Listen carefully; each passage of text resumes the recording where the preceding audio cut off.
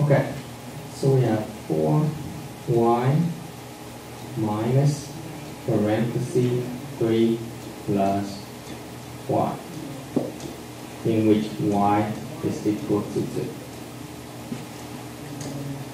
What this means is for every y you see, you're going to replace it with a 2. This right here goes in for that y and that y.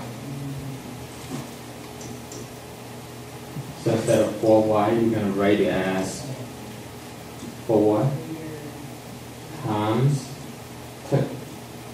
Because y is 2. We don't want the y anymore, but we want it.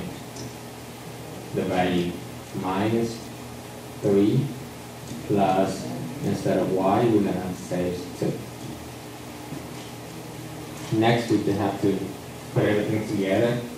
4 times 2 is going to be 8. So 8, not 48. Be 8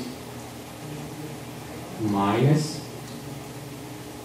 3 plus 2 inside of parentheses be 5.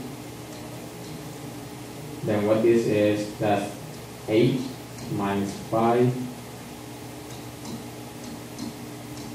which to give you 3. So the answer for this expression is 3.